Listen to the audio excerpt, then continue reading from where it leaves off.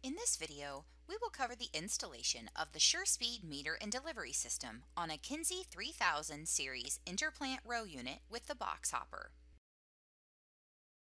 Before you begin, verify you have all of the required parts indicated in the installation instructions. First, we will start by removing any of the listed parts from the row unit. Gauge wheels, scrapers, opening disc, seed meter, seed firmer, seed tube guard, and any wiring harnesses.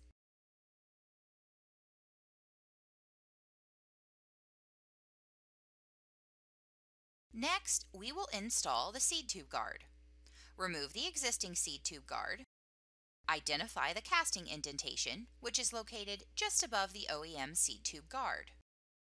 Cut off the bottom of the shank at the casting indentation. It is recommended to use either an angle grinder or a sawzall with a metal cutting blade. Slide the seed tube guard onto the right side of the shank. Position the seed tube guard clamp over the left side of the shank. Install three M6 by 16 millimeter screws to secure the seed tube guard into place. Use a blue Loctite or equivalent to help secure the screws. Do not over torque. Once tightened, the seed tube guard should have some play on the shank to self-center. Remove the material around the mating surfaces of the shank as needed to achieve this. To install the seed tube guard wing, gently pinch the rear of the wing and push it onto the guard. The seed delivery rail will be installed next. Start by removing any dirt or debris from the inside of the shank. Insert a spacer sleeve on each side of the delivery rail. Insert the delivery rail from the top of the shank until the lower hook on the rail is engaged with the lower shank pin. Be sure to visually confirm engagement. Next, install the clevis pin and hairpin clip through the top of the delivery rail. The delivery rail should not be able to be removed once the pin is installed. Next, Install the SureSpeed delivery tube. Slide the delivery tube in from the top of the shank until it is resting on the delivery rail spring and is inside the seed tube guard wing. Connect the ROCAN cable to the delivery tube motor at this time. Next, we will assemble the SureSpeed meter onto the box hopper. Install the plastic standoff to the rear of the box hopper with four quarter inch by three quarter inch bolts. Ensure all four bolts have been started before tightening.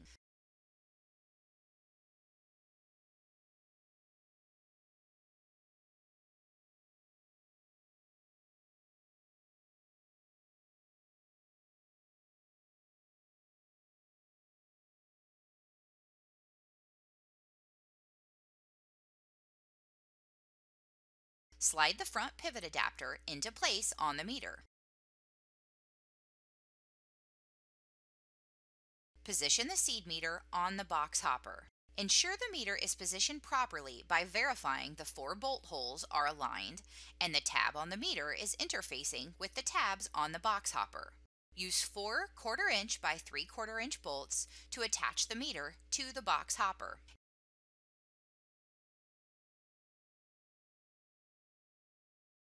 Install the SureSpeed meter and box hopper on the row unit.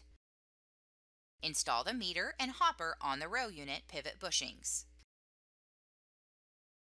Connect the ROCAN cable to the meter motor. Verify the meter is properly seated. Adjust the latch tension to keep the meter and box hopper in place. Leaving the latch loose may cause the meter and box hopper to bounce and cause performance issues. Lastly, install the vacuum elbow provided. Cut the existing vacuum hose to the desired length. Install the new vacuum elbow onto the hose. Please be aware the elbow has left-handed threads. Push the elbow onto the meter. When planting with the rear rows only, install the interplant vacuum plug over the vacuum port on the meter. Then slide the vacuum elbow over the closed end of the vacuum plug. Now you will be able to successfully install a SureSpeed meter and delivery system on a Kinze 3000 series interplant row unit. If you'd like to see more short tutorials from AgLeader, please subscribe to our YouTube channel.